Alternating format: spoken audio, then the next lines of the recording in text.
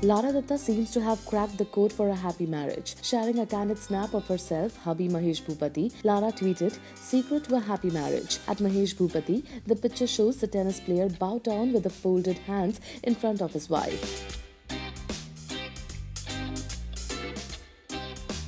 The mother of one, former Miss World Lara Dutta, looks resplendent in the peach colored lehenga in the picture. Now, isn't that cute?